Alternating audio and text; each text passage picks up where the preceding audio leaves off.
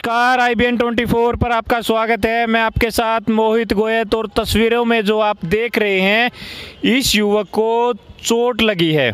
इसको चोट लगी है और ये अप्लीकेशन देने के लिए एसपी ऑफ़िस में आया है। इसने अपनी अप्लीकेशन दी है। अब हुआ क्या था पूरा माजरा? वो हम इसी से पूछते हैं, इसका क्या नाम है?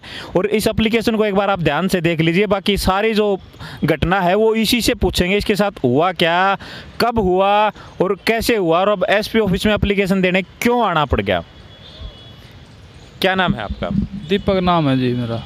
क्या हुआ था? हुआ क्या था हुआ था जी चार पाँच बंदे आए लठ मार के चले गए जी फाग वाले दिन। फाग वाले दिन लठ मार हाँ जी। ठीक है। और उसके बाद में पुलिस कार्रवाई कोई नहीं हो रही जी। वो दबाव दे जी चालीस हज़ार ले लो पचास हज़ार ले लो और राजीनामा कर लो। वो तीन चार बंदे में इकट्ठे हो पा नहीं रहे जी। राजीनामा तो तभी होएगा ना तब वो बंदे इकट्ठे हो जाएँगे सर अच्छा तो पैसे देकर दबाव बना रहे हैं। राजीनामा करने का आप चालीस हज़ार ले लो आप पचास हज़ार ले रहे हो। ऐसे शिकायत करता है वो आरोप लगा रहे हैं। आपका नाम क्या है? दीपक है सर। दीपक नाम है। मतलब फाग वाले दिन ऐसा क्या हुआ? कि उन आपको चोट मारनी पड़ी? कुछ लड़ाई झगड़ा गाड़ी गलोच या कुछ क्या हुआ? कुछ नहीं होया जी। मैं अपने रोड पे बीड़ी सिगरेट पीने लग रहा था जी। चार जने आए बाइक पे। लठम लट्ठा लठम लट्ठा और मैं भाग गया जी।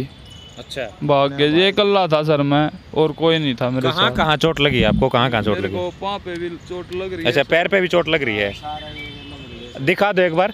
पैर पे भी चोट लगी हुई है।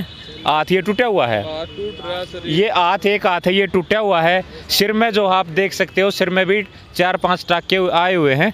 ऐसा बता रहे हैं आप देख सकते हैं तस्वीरों में आपको दिख रहा है। और आप कमर में ये दिख रहे हैं सारा। चोट आप देख सकते हैं किस तरह से मारा गया, कितनी बुरी तरह से मारा गया है और पुलिस के ऊपर ये आरोप लगा रहे हैं कि पुलिस हमारी कोई कार्रवाई नहीं कर रही है, कोई भी कार्रवाई इनकी पुलिस नहीं कर रही है। आखिर में इन्होंने पहले पुलिस चौकी में अपनी एप्लीकेशन दी थी, लेकिन इनकी कोई कार्रवाई नहीं हुई।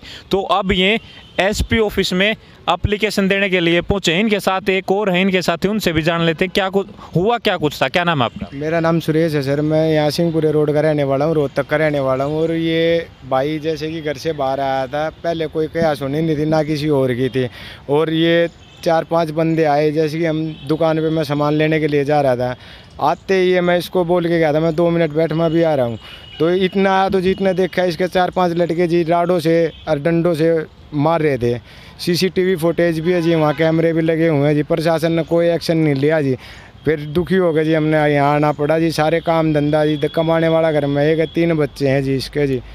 घर में ही बैठ गया जी, कौन कमाओ, कौन कितने क्या होगा जी माँ बाप पापा है नहीं जी मम्मी है एक्सपायर हो रही है वो है जी बुढ़ापा है जी उसका जी। आपने चौकी में एप्लीकेशन दी थी चौकी वालों ने क्या कहा आपको? चौकी वालों ने सर मेरे से इनसे बगैर बोला जी एप्लीकेशन लिख दे एप्लीकेशन ना तो मैंने लिखनी आती जी मेरे से एप्लीकेशन लिखवाई जी उन्होंने। अब भाई ये कुछ दिन के लिए माजरा रोक दो ये यहाँ पे आप थोड़ी सी कार्रवाई हम कर देंगे तुम्हारी। पर ऐसा कुछ नहीं हुआ ऐसे रहे उन्होंने हमारे ही कार्रवाई करने के बजाय हमारे पे ही दबाव बना दिया। और जो जिन्होंने चोट मारी थी उसकी मोसी वगैरह लग, लग, लगती है वो घर के पास रहती है। कल उन्होंने ये बनाया है कि हम उनको मारने के लिए पहुँच रहे थे। ऐसा ऐसा सिचुएशन कर रखी उन्होंने पैदा कि उल्टा हमारे पे केस कर रहे हैं वो अच्छा। हाँ जी। तो पुलिस ने कोई कार्रवाई करी? नहीं करी जी कोई कार्रवाई नहीं करी जी। पुलिस ने कोई कार्रवाई? थाने में जाते हैं जी वो बोल देते हैं ना तो कोई एफ़ आई आर नंबर है जी ना कुछ और है जी ऑनलाइन कुछ भी नहीं दिखा रहा है जी। अब ये बताओ जी कहाँ जाऊँ जी यहीं आए हैं जी गुहार के लिए जी गरीब आदमी और किस जाऊँगा जी? राजीनामा तब होगा सर जो चार बंदे आरोपी हैं जो मुँह सामने आओ और तब होगा सर राजीनामा भी होगा। इसी बात नहीं है मानस मर जाए जब भी राजीनामा हो साहब तो जी। तो सामने नहीं आ रहे बिल्कुल में जी मेरे। दबाव बना रहे हैं ठीक है। ले ले। अब हम थोड़ी ना उनके घर जाके बातें करेंगे। हमारे ऊपर उल्टा आरोप लगा देंगे हमारे घर पे आगे थे मारने के लिए हमें। मम्मी भी कह रही थी जी कल तो जब आपको राजीनामा करना तो पुलिस के पास किस लिए आ रहे हो आप? राजीनामा नहीं करना जी हमने करना नहीं राजीनामा सर हमने इंसाफ चाहिए साफ़ बात यह है जी हमने जिस दिया जी चोट मार के कल कोई मर जाता जी इसके बच्चा ने कौन पालता जी ये बताओ जी। एक घर में कमाने वाला अकेला एक इसका बड़ा भाई है जी। इसकी मम्मी दिहाड़ी करे जी इसकी मिसी जब वो दिहाड़ी मजदूरी पे जावे जी। अभी वो कल को कुछ हो जाता तो आज ही राजीनामा हम नहीं चाहते जी किसी प्रकार का भी जी। और ना ही चाहता जी राजीनामा जी हमने इंसाफ चाहिए जी। आप इसके क्या लगते हैं? मैं जी इसका पड़ोसी हूँ जी मैं यो ही है जी। तो इसके पड़ोसी हुआ? हाँ जी बिल्कुल साथ में मकान है जी। अच्छा आपका इसके साथ में मकान? हाँ जी यार बहुत बचपन से साथ में पड़े हुए हैं जी इतने बड़े हुए काम धंधे करें जी गाड़ी चला रहे एक हफ़्ता होगा जी घर में दूध का। क्या है अभी जुगाड़ नहीं है जी, बहुत मतलब सिचुएशन वैसी हो रही है जी, क्या बताऊँ आपने, जिस तरह की आप कन्फर्म कर सकते हो सर फ़ोन करके जी, इतनी मतलब हालत ख़राब है, एक कमाने वाला था जी, वो घर में बैठ गया जी।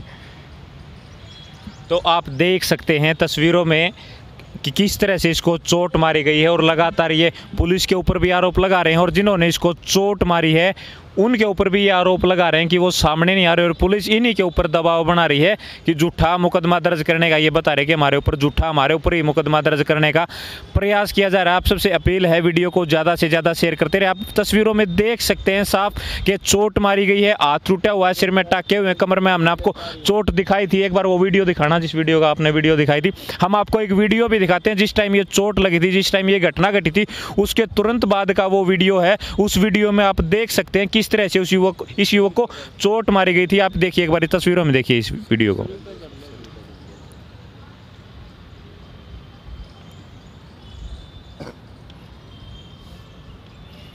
तो आप देख सकते हैं, आपको दिख रहा है, बिल्कुल क्लियर दिख रहा है किस तरह से इसको चोट मारी गई है। सिर में भी इसको टाके हुए हैं, देखिए आप तस्वीरों में भी देख सकते हैं। इस तरह से मारा गया है और इसका आरोप ये है कि पुलिस भी अब कोई कार्रवाई नहीं कर रही है और जो आरोपी हैं, वो पैसे देकर मामले को दबाने का प्रयास कर रहे हैं और चौकी में इन्होंने अप्लीकेशन दी थी चौकी वालों के ऊपर भी, जो पुलिस चौकी थी, उनके ऊपर भी ये आरोप लगा रहे हैं कि वो भी कोई कार्रवाई नहीं कर रहे हैं। वो भी कोई कार्रवाई नहीं कर रहे। इन्होंने कोई एप्लीकेशन दी थी, उसके ऊपर भी इनकी कोई कार्रवाई नहीं हुई है। वो इन्हीं के ऊपर दबाव बना रहे हैं। ऐसा ये लगातार आरोप लगा रहे हैं। आप सबसे अपील है वीडियो को मैक्सिमम से मैक्सिमम शेयर करें और इनका किस तरह की मतलब किसके साथ आपके ऊपर जो हमला हुआ था, वो किस तरह के हथियार क्या कुछ मारा गया था? लोहे के डंडे थे जी, राड था जी, यो बेहोश पड़ा था जी। कुछ मिनट तो ये मतलब इन्हें उठा के लाए तो यूँ के जी खत्म हो गया जी वो जुगर इसके घर वाले सब रो रहे थे। हम तो जब उठ के गए, मैं दुकान से सामान लेकर रहा था जी। एक बाइक पे चार बंदे थे जी। मैंने नू आशंका नहीं थी जी ये इसके हमारे नाम है ना तो जी मैं भागता हो रहा नहीं बुलाता जी। जो दुकान वाला था जी, वहाँ भी पता कर सकती है ये प्रशासन वाले, इसकी कोई गलती थी नहीं थी। अब क्या है जी, उनके पास है, उनका जुगाड़ है, पैसों का। अब जो है गरीब आदमी जी अब इसका पैसे खाने का, खवाने का जुगाड़ नहीं है जी हमारा है ही नहीं जी हम कहाँ से देंगे जनू तो बताओ। वे पैसे खावे जिस साफ़ बात है, हमारे से तो मांगे नहीं जी, बाकी बाकी उनके विचार ऐसे हैं कि वो हमारे पे वापसी मतलब एक दस दिन हो गए सर कार्रवाई नहीं हो पा रही जी, कोई भी जी। तो ये आप देख सकते हैं, अठारह उन्नीस तारीख की इन्होंने एप्लीकेशन दी थी, लेकिन आज तक इनकी कोई भी कार्रवाई नहीं हुई। इन्होंने बताया इनको लठ मारे गए, लोहे की राड से इनके ऊपर जानलेवा हमला हुआ, जैसा कि इन्होंने एप्लीकेशन में भी लिखा है, चार पाँच लोग जान से मारने की, तलवार का भी ये आरोप लगा रही तलवार चार पाँच आदमी जान से मारने की नीयत से इनके ऊपर हमला किया था। आप सबसे अपील है, वीडियो को ज़्यादा से ज़्यादा शेयर करें, और आपसे ये अपील है, आप इस पूरे सिनेरियो के बारे में आप क्या सोचते हैं, वो हमें कमेंट बॉक्स में ज़रूर बताएँ। बी ट्वेंटी फोर के लिए रोहतक से मोहित गोयत। अब यहाँ तक आ ही गए हैं तो हमारे चैनल को सब्सक्राइब ज़रूर करें और नीचे दिए गए बेलाइकन को ज़रूर दबाए, ताकि हर खबर सबसे पहले पहुँचे आप तक।